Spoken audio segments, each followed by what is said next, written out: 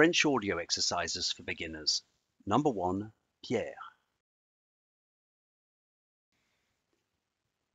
Pierre habite en France.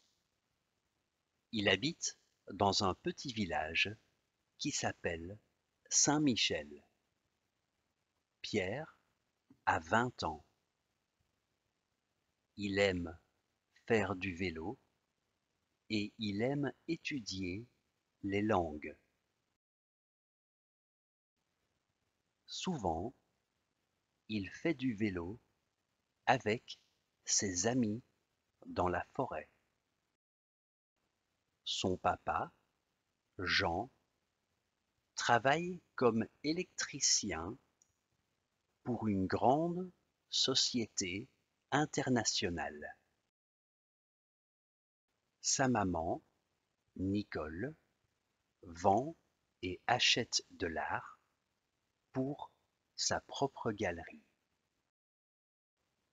Pierre a deux frères et une sœur. Ils sont plus jeunes que lui.